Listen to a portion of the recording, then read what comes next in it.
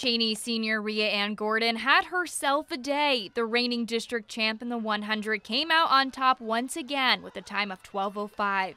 Gordon also took home the district title in the 200 and finished in second place in the 4x200 relay. I'm feeling good. Um, I knew I had to get out the blocks fast and just finish through and keep up those arms. That's what I did.